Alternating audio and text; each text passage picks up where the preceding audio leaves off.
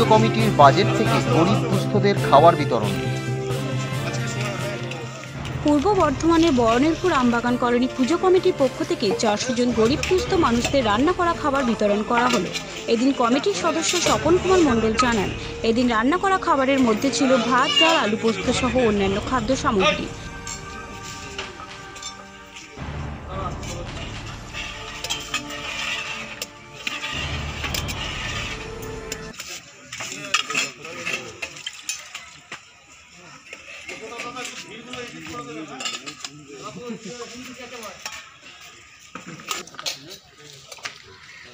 আচ্ছা কাদের উদ্যোগে করা হচ্ছে? কি কি করা হচ্ছে?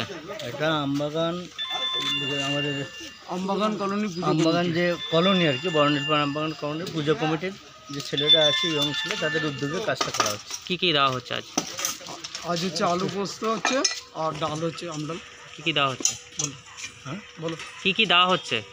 ওই তো আজকের যেমন যে মেনুটা করেছে আলু পোস্ত আর ডাল করছে। কজনকে দেওয়া হলো? প্রায় চারশো জন। প্রায় দৈনিক চারশো।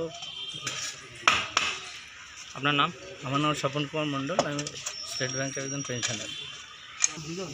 পূর্ব বর্ধমান থেকে পাপাই সরকারি রিপোর্ট টাইমস বাংলা।